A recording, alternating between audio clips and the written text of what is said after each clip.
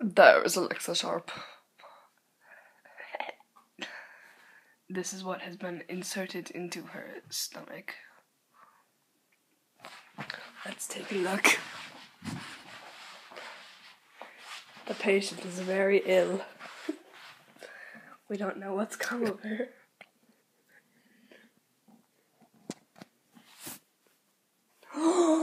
She's a grey belly. Grey belly. You're a disgrace to the human population.